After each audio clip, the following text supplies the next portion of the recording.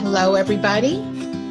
This is Shannon Knight. For those of you who don't know me, a two time breast cancer survivor. I have my twin sister on the phone, ready to share with me. I am so grateful and honored to have her share with all of you what she went through, what we went through emotionally with the breast cancer diagnosis that went from the beginning of diagnosis all the way through to getting uh, clear of cancer, free of disease, and the roller coaster that we went on. Sis? Hello. Thank you for joining me. I'd like to hear if everyone is able to hear my sister. I did a test run earlier and we heard her perfectly fine. I see uh, Melanie, Tiff, Paula, can somebody give me a thumbs up? Janine, uh, go ahead and talk, Jesse. Hi. Can you hear me all? This is Jesse testing one, two, three. This is fun. okay. We've got Paula Costa. We got thumbs up. Okay, sis. I am so happy. You and I have had a life together we had a lot of health problems that were the same. Remember when our knees would uh, dislocate when we were kids? It happened about the same year. Do you remember what that was like having to go through that together? We had a lot of um, empathy towards each other. So, although you know you're there screaming, I, I could feel it. Once you've experienced it, you feel it. Um, I don't know if it's just a twin thing or just um, people who are very uh, empathetic. So I definitely feel I'm one of those, and I know one. I went through the same thing with you. I would watch you running and getting ready to go around a corner, and I'd be so uh-huh. terrified that your knee would dislocate just running around the corner. Yes, you know that I still, I still have that with my daughter now. I, I worry about her knees. I go through that too. So when I was diagnosed the first time with breast cancer in 2006, what did you go through as a twin? Shock was the first thing. And I don't know that I knew I was in shock, but I certainly wasn't going to accept your diagnosis. And I felt like, no, this is not going to happen. Shannon. And because in a way, that would mean it's happening to me, and I have to be in control. So, did not want to believe it, and spent a lot of time researching. I think that's when I really cared about cures. Was when I found out you had been diagnosed with breast cancer. I wanted to know every single thing you were doing, um, what the doctors were saying, and it's not that I didn't trust them, it's that I know there are many different methods to cure cancer. And I just felt like I wanted you to do the treatment that was going to work best for you or best for me. so, yes, exactly. And now, now this is a twin thing, yes, but would you say that our family, we have such a big family, mom, dad, our siblings went through a similar thing? And did you have discussions behind the scenes, behind my back about this? Many times. And it goes back to the diagnosis. Um, did she, how many tests, you know, is she sure she has cancer? and is she to be believed? Is maybe it's just a cyst? You know, right. is she going to do radiation? She better do chemo. She better do radiation. And everybody has their own packaged prepackaged plan um, that sort of hits the ground running. Right. They're in shock, I think. They, they just want to get a quick fix for their loved one, not realizing some of the things that we say and that we do um, can actually be stressful and hurtful on the person that is being dealt dealt this blow, the one with cancer. Okay. Those of you who are just jumping on, I have my twin sister on Facebook Live. She is also a breast cancer survivor. she went through the same thing I went through with fear emotionally, and I can definitely tell you I went through the same thing with her diagnosis, totally afraid that she wasn't going to beat it, even though I did. In fact, I'd like to go back to a time, sis, we're going to jump ahead a little bit. When you were diagnosed two years ago, what was it like for you, even though you knew I beat stage three and stage four without chemotherapy, and you as a VA going to a veterans hospital and being told to do chemotherapy, what did you go through during that time, regardless of having a twin sister that had many of the same health issues? Well, the hardest part for me was how long it took for me to even get a diagnosis because I had been there a couple of times and was told that it was just a benign tumor or cyst. And so I went through the frustration of I might need to go outside of the VA. And as a disabled veteran, you know, everything is, free for me. And now I would have to go out and get outside of uh, diagnosis, which I did. And um, then I went back to the VA and told them, look, I've got cancer. And so at that point, what I noticed that really made me frightened was that nobody seemed to think it was a big deal, and I did. Right. uh, even after they um, went ahead and did the ultrasound and the biopsy. It was just as if I had the stomach flu. And then what? Mentioning chemo, mentioning chemo to me, uh, they had already pretty much assumed that that was the course of action I was going to take was radiation and chemo. And when I told them that that's not what I wanted to do, that I wanted to seek the same treatment that you had received, they were shocked and thought that I was giving myself a death sentence. Imagine what that was like. Yeah. They believed that, you know. They did. Oh, I know. I do understand. Um, I mean, this is how it's always been. It isn't just cancer. I've always felt like when I went into um, the doctor for something, I think it's more with women that they just sort of assume that we should be able to handle things better. Okay. Maybe better than men, and and then also even our pain is not taken seriously. Right. So I, I've been feeling sick also, and I think that's what was frustrating is I felt very weak, very tired. I didn't have the energy I used to have, and to have a female doctor telling me you need to eat healthier, you you should Americans don't exercise enough, and I think that I'd already told her I was eating organic once you had been diagnosed. So there's some just feelings of not being um, validated.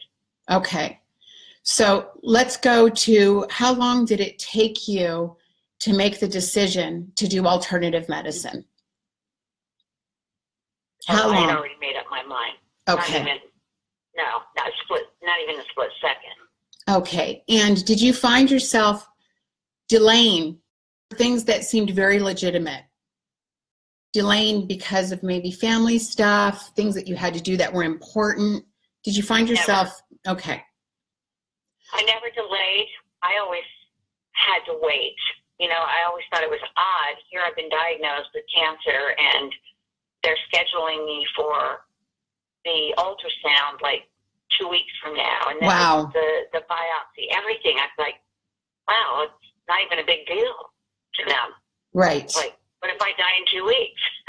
right. We were just discussing that in my interview yesterday. That with Avenome Lerner, he said we get the diagnosis and it hits us like a crisis, like something just happened when it's been growing inside of us slowly, and we're still there. We just we just know it now but the intensity the emotional stuff that you go through is i, I told him yesterday it's like being drafted to fight that sense of urgency like you're going now. And you're in a different place than you you're not even the same person anymore right? Talk about that. Did it change your identity instantaneously? Yes. Suddenly i was a person who would have to wait my turn. Wow. You know? It wasn't about me.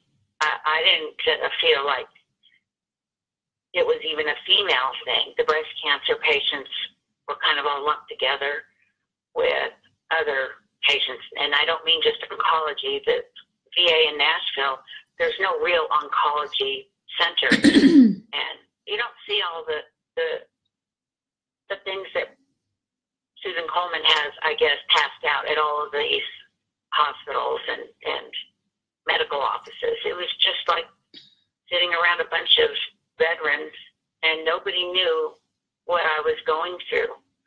You know, we're all taught certain way to behave, there's certain manners, and, it, and I just was past that. I didn't want to be polite anymore, and I did. I, I but it was so frustrating, even at home, because that's really where you need to hold it together. Right. I have a daughter. You can't show fear. Um, so everyone's used to seeing Jesse or mommy so strong. And I would not let myself cry. I remember I played a lot of games on my um, laptop to distract me. Right. Uh, I did that too. my daughter's games. I mean, I was, I almost became addicted to it because it was the only way I could stop thinking about the fear. I'm looking. I'm looking at a comment right now that falls in line from Kristen Lee Schlupp. People want me to just function normally, and it's treated like a car repair, like you get new tires and you're on your way. What do you think about that? That's exactly right, how you feel. Yes. It's almost like I don't want to talk about it because, you know, you can talk to just about anyone, and someone's had to deal with cancer, either with a family member or a friend or their their spouse or themselves or their child even. So you're afraid to bring up your own cancer because there's no blood. It's all on the inside. Right. There's nothing showing, nothing. You look exactly the same as you did the day before. That's right.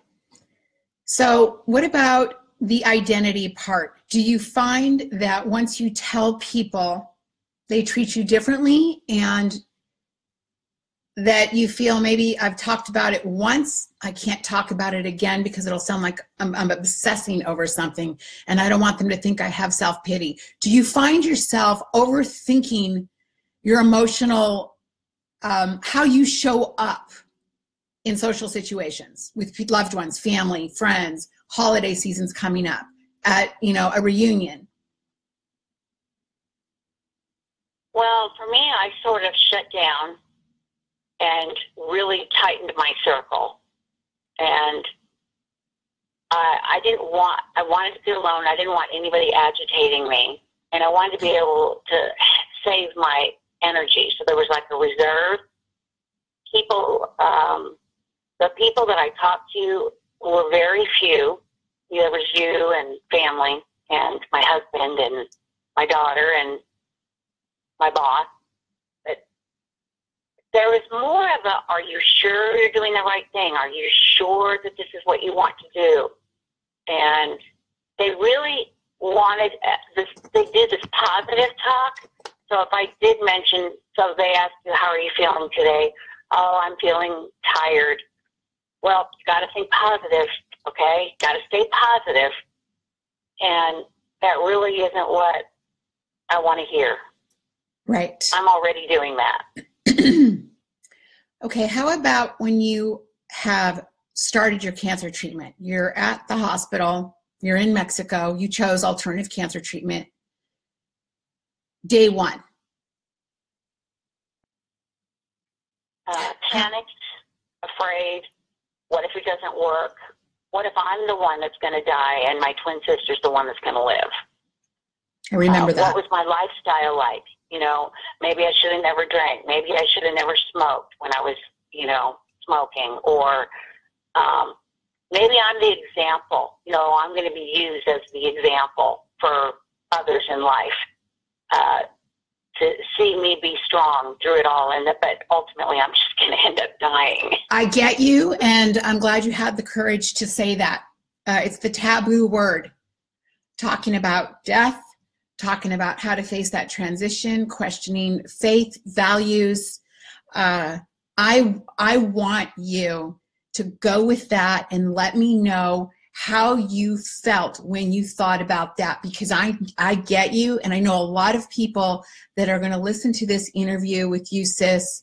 They're going to get it. And I want the truth out the vulnerability of emotional the roller coaster and I I spoke about how I felt like I was 12 years old afraid of death and that all of a sudden I started going and you would know we were raised to believe in God what if God doesn't exist how does that resonate with you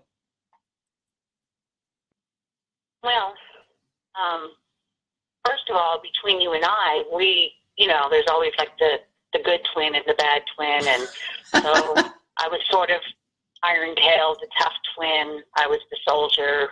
I was, I was almost proud. I wore it honorably that title, and that I could, I, that I wasn't the empath that I know that I am. So suddenly I'm really having a hard time being who I actually believe I am this strong, arrogant, whatever. Suddenly I am this baby that's weak and oh my gosh, who's going to take care of Madison when I die? Um, oh my gosh, uh, what if I don't make it, you know, into heaven? You know, is there something I forgot, something I, I failed to do? And suddenly I feel like I need to be doing more, not less, to sort of make amends in case I do end up dying. Um, it's almost like preparing for a wedding. You know, you suddenly have all these things that you have to do, and you act you act stronger, but it's it's none of it is for me. No, you're doing it for everyone else. It's, it's, a, it's a play that I'm I'm an entertainer, and I'm afraid at night when I am alone to cry for fear that I won't be able to stop and that I'll just go crazy with panic and having you know having an anxiety attack and I did have anxiety attacks and it it really mentally and emotionally messed with me in a way that was worse than any kind of training that you could go through in the army and basic training.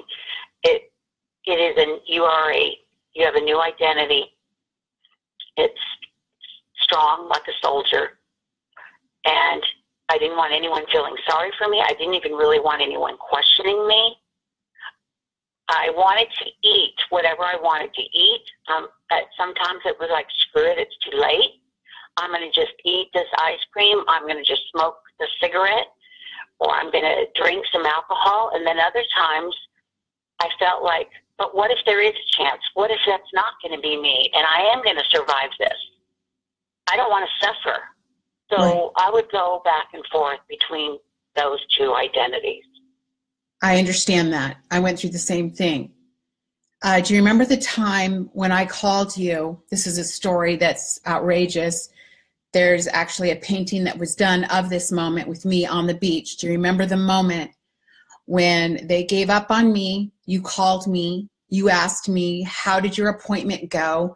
And they stopped my radiation and they did some imaging and said I was on round 22 of 40 radiations that were planned for my sternum to stop it from growing and it paralyzing me. I didn't they already told me I had 3 months to a year to live but they said the radiation on this one spot, even though it was in my lungs and my ribs and everywhere, could stop that and slow it down so I wouldn't be paralyzed. And when they stopped that radiation because I couldn't lay still and I kept coughing, you called me and asked me how I was doing.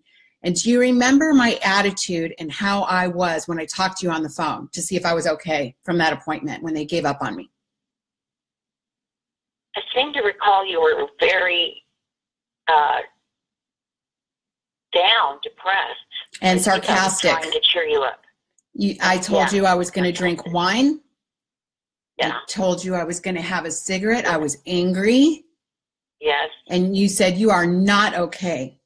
And you came and you picked me up and you, went to the beach. you, I said, I can't go to the beach. I've got a burn on my chest. You said, So we'll get you a shirt. And you put this light white long sleeve shirt on me. And we got a green Mhm. skirt on me. And that I remember that. that drive down Kanan Dume Road with your attorney in the back seat from Nashville. And do you remember how every time I would cry and say, I'm afraid of dying, I said, It's not like they said it was. You really are afraid. And you would give me, you made a concoction. We're going to go ahead and talk about the truth of all of this. You made a purple drink and gave it to me in a Tupperware container because you were so concerned about my fear and emotions. And it tasted like grape Kool Aid, but I'm pretty sure it had a little vodka in there because I felt really calm by the time we got to the grocery store to get some floaty, floaty stuff for the beach for Madison. And then we got to the beach. Do you remember that? I do. Do you remember what music, what you would do when I'd start Yes. crying and I put my head in my lap? I don't want to die. I don't want to die. Do you remember what you did with the music? I think I didn't I play Journey? You Play did. that I did, and the Eagles, uh, or you Don Henley. played and you rolled down the windows going through those Kanan Dume tunnels to the beach in Malibu and started trying Trying to to cheer cheer up. me up. yes, I will never forget I that. remember that. That compassion and you you reached for everything from our youth that had a good memory attached to it. Every Music. good memory. Yes. Yep, Boys of Summer, Don Henley. Yes. the, when you started singing. I had did. The sunroof open in the SUV. Yeah. You got me it to was sing. really beautiful. yes. I was depressed too about it. I just I could feel and, and sense everything. Yes. Well, I remember that you wouldn't stop at anything. There was nothing you wouldn't do during that time to make me smile, to make me laugh, to make me turn away from dying. So Yeah. I wanted to talk to you about that because one, I want to tell you again how in front of everybody how much that meant to me. Here I have a twin sister and I know I knew you were afraid. So now let's go back to you and you being diagnosed and you telling me on the phone i'm not as strong as you i was walking through hobby lobby i was on the phone you just said just tell me what to do tell me where to go because you were torn and you just kind of had a frozen moment I remember that uh, I didn't want to do any of the thinking or where should I go. I said, just tell me everything that you did. I'm going to do exactly what you did. I want to. I want to go to Mexico. Tell me what I should be drinking, what I should be eating. Even though I probably knew most of it, but I couldn't remember because I was numb. the overwhelmingness of it all froze the you realness it was too real and you know that always goes back to madison my daughter and um i never thought of missing my husband james i suddenly found myself trying to qualify him as if he was going to be her caretaker. And you know he's her stepfather and he loves her but suddenly i felt like i needed to prepare him train him how to be me. Wow. and train Madison how not to take shit from men. Wow. Because he might forget to teach her that. And yeah, it was all about Madison, and I had to be there for her and and grow her up strong, like me, right and then in front of her and healthy. in front of her you had a, a different identity because you wanted her to see courage Yes, okay I, I would start. I would. Well, Madison is amazing. She never felt like she was losing me. She never cried once. She always told me, you know, mommy, it's going to be okay. You're going to get through this. You're a fighter. You're strong. She said things that I never ever thought she saw me as. Usually friends, not children. okay i want to close to be so grown this. I'm sorry, sis. I want to close this before I forget with something that's very important now I've gotten through, I'm six years out free of disease and no evidence of it. You're two years out. How do you feel? Do you feel secure? Do you feel reassurance? Does cancer cross no. through your mind daily? Does it? Uh, What's it like? On my mind daily. Okay. I never think it's over, even though I have a clean bill of health. It's never, I don't, first of all, I didn't, if I'd have been diagnosed maybe correctly the first time, but for a year of, of going through not being diagnosed, and it ended up being exactly what I thought it was. So I don't want to, you know, touch too much every day. And, you know, I'm going through the reconstructive part. And so every lump is, to me, a potential cancer. You know, we've got a lot of lymph nodes, glands. That we never knew we had. Yeah, I'm very suspicious now of everything that's a lump. To validate other people, men and women, going through uh, their they're they're free of disease. To validate people who go through an ache, a sharp pain, a twinge, what is that like for you? And I'll tell you what it's like for me after you tell me what, what it's like What if it's for cancer? Just what if it's cancer? Yes. There's a lot of people out there, uh, I've heard it, where they think that they're paranoid because they're going, well, what if it's cancer? What if cancer came back? I've got a backache. What if it's what if it's cancer? Well, here's here's a good example if you want to validate some people.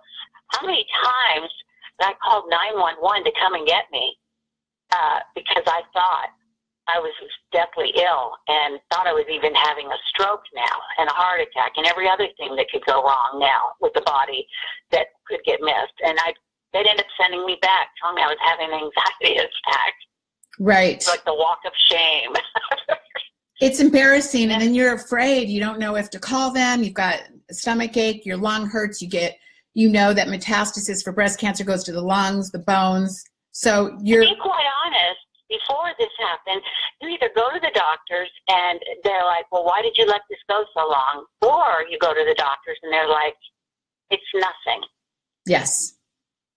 So you're never truly validated you're reprimanded or you're not validated or you know and i, I really do wish doctors uh, i know that they're supposed to detach from the patient to a point you know or they would be just taking on all the sorrows of every patient that's ill terminal illness cancer right. whatever they think is terminal but there has got to be a way that they can listen and say something on, you know, this sounds this sounds like you've got, you know, a series of little symptoms going on here. Why don't we get to the bottom of this?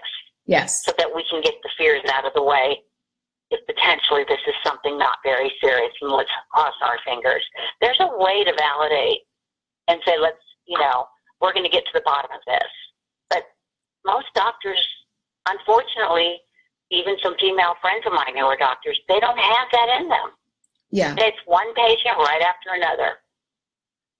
I, I, I get it. I understand it. I went through it. I went through nine months of them just trying to get me in and out of the office, diagnosing me with costochondritis, with asthma for nine months, the wrong diagnosis, and not encouraging me or prompting me to go get it checked out. And and we kind of have to do that ourselves. We have to lead in all of that. So, what do you I do? Dr. Payan. Mm-hmm. Dr. Payan, uh, you know, when I was out here, I, kept, I could not breathe at night. I could hardly ever breathe. And it's like a permanent congestion, and nobody could diagnose it. I had x ray after x ray. And then I get to Mexico and one CAT scan, and he found the lesion. And, wow. It, you know, I had to go all the way to Mexico for that. I remember that, and I remember they missed another diagnosis. Do you remember the red rash that was misdiagnosed at the Scarlet. VA hospital, and it was scarlet fever? Scarlet fever. And Dr. Yeah. Payan did oh, some testing. I think it was in the middle of the night. I got the phone call that my sister. My liver was a mess. I got hepatitis, uh, acute hepatitis. My kidney. There's how these things, I think, get missed is exactly why uh, a lot of people who are intelligent and care and want to live will become hypochondriacs or appear so because now you're doubting everything. You don't trust your doctor. Yeah. Well, that happened to you and it happened to me. We both got a misdiagnosis. And then mine turned out to be cancer. You had cancer with complications of scarlet fever. And I think it was a, a viral. My immune system was, I have an immune, autoimmune disorder, which you really have to have a strong immune system if you are going to pursue that route of chemo and radiation. Yes. You won't make it. Right. Because that's what it, it destroys the immune system. But I will say this that I realize it, it is, it truly is the squeaky wheel that gets the oil. They, they may not like you, and that should not be a patient's goal. That we come out of there and the doctor goes, wow, she's a good girl. They don't care. I don't care if it's a doctor that does care about his patients. The fact of the matter is, you better make use of every minute that you have during that hour seeing that doctor because somebody's paying for that and you better make them tell them i want this test. I want that test. My insurance covers this. I want it done. Yes. And or they're not going to do it. You're absolutely right. We i get a lot of letters so like that. about being a nice polite patient and be more of a proactive patient. Your own advocate. Yes. Yeah. Sis, we're going to do this again. I am so grateful for you, and I know many other people will be grateful for this interview. They're going to see it over, I'm not taking it down, it's going to stay up on my website, shannonknight.com. You and I have been through breast cancer together. Here's the emotions, we can validate other people who are going through the same thing where they feel kind of crazy because every little pain and twitch or inflammation, we want to check it out to make sure it's not cancer. And I know you agree with me. We encourage you to get it checked out, get the symptoms checked out, especially since I have mentioned that my tumor marker never read that I had cancer. For nine months, the UCLA test for it, my tumor marker never ever showed that I had cancer, and it was full blown stage four bones, lungs, mets everywhere. We encourage you to look like a hypochondriac and run to the doctor. Who cares? Who cares what they think about you? They're not going to be thinking about you later. So, yeah, and the sooner you get it, the better. And the best support people that you can have in your life are those that will encourage you to do that instead of minimizing you discussing, I need to get this checked out. You need to be smart. You need to be your own advocate and you need to get the symptoms. If your bone hurts, it's great to have support groups to write and ask, hey, I've got a bone in my a left side of my rib cage that hurts. What do you think I should do? The only advice that everybody should be giving you on those groups is get your little booty to the doctor and get some imaging done. Don't tell them to start drinking a certain this tonic or a certain supplement. You're wasting time. You need to have the reassurance to rule out cancer once you've already battled it once. You can get metastasis. Learn about metastasis. Be smart. Don't go to your group, go to the doctor first and then share what happened with the group.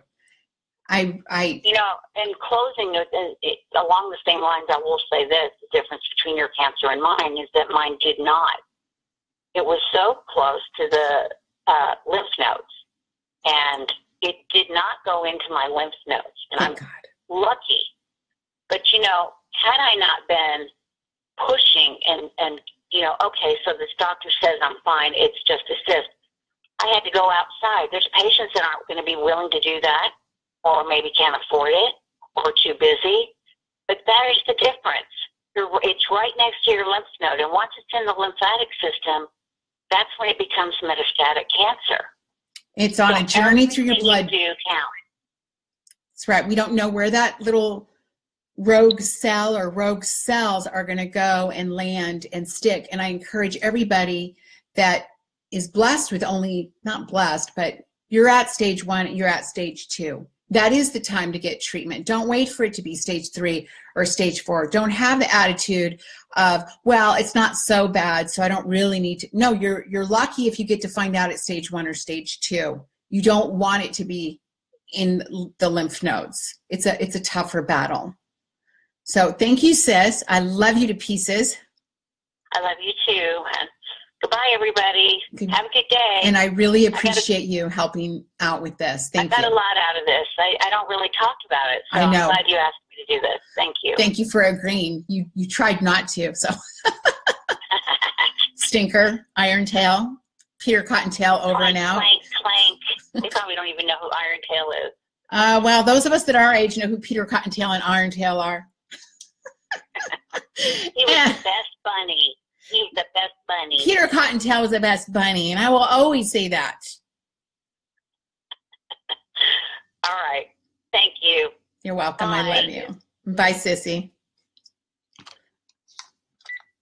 That was fun. I really wanted her for so long to get on and talk.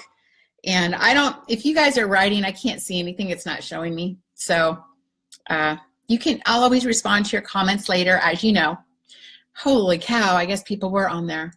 Um, didn't know that. So, hi, everyone. And I hope this interview with my twin sister helped shine a light on the emotional impact, um, what we go through with the identity, what we go through with um, upon diagnosis, after going through cancer, trying to get the tests that you want, trying to be validated, trying to be supported on the choice of treatment that you want.